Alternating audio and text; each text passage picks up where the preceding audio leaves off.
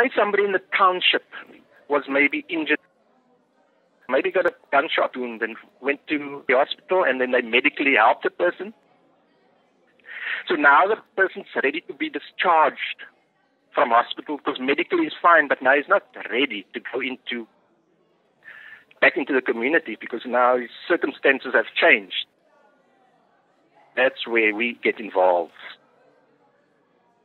So we support people with physical disabilities. You know, like people in wheelchairs, people on crutches, quadriplegics, paraplegics, and so on. But now we assist the most vulnerable of them.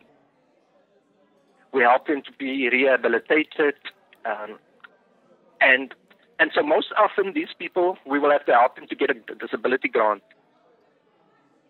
And you know that is not a lot. So all the other needs like food and clothing and so on also becomes um, a, an, an issue.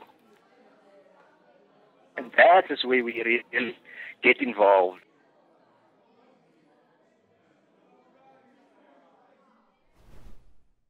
By making a donation, or even just by sharing their story, you can help make a change.